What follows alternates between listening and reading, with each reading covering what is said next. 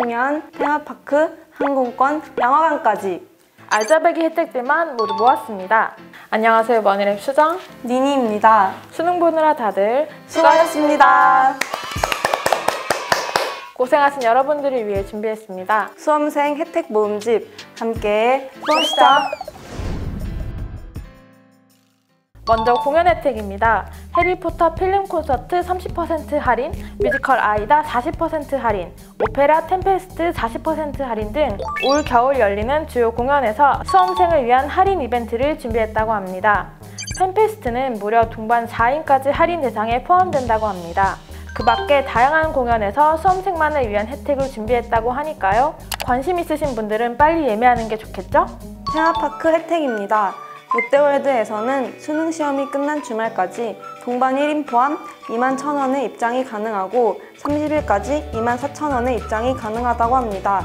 에버랜드는 수능이 끝나는 11월 14일부터 12월 15일까지 평일 2만원, 주말 2만 2천원의 입장이 가능합니다. 특히 평일 오후 2시 이후에 방문하면 입장료가 1만 6천원이라고 하니까요. 시험이 끝나자마자 바로 달려가야겠죠?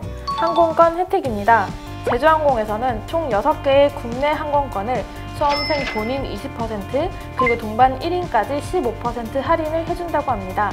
김포 제주행을 포함한 총 6개의 국내선은 탑승일 기준 11월 15일부터 2월 말일까지 할인이 적용됩니다. 마지막으로 영화관 혜택입니다. 메가박스에서는 11월 14일부터 12월 15일까지 일반관 기준 6,000원의 영화 관람이 가능하다고 합니다. 간식, 음료, 굿즈까지 포함된 콤보도 8,000원에 즐길 수 있다고 합니다.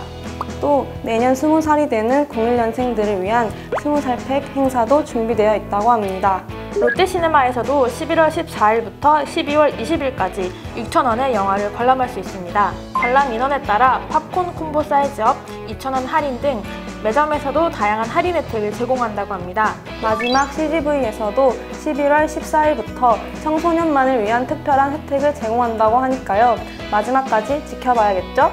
수능 시험은 끝이 났지만 입시는 아직 끝나지 않은 친구들이 많을 것 같아요. 저희가 오늘 소개해드린 혜택 즐기시면서 남은 입시도 잘 마무리하셨으면 좋겠습니다.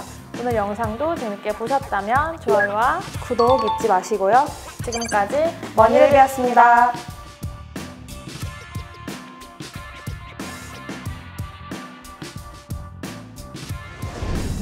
money rap.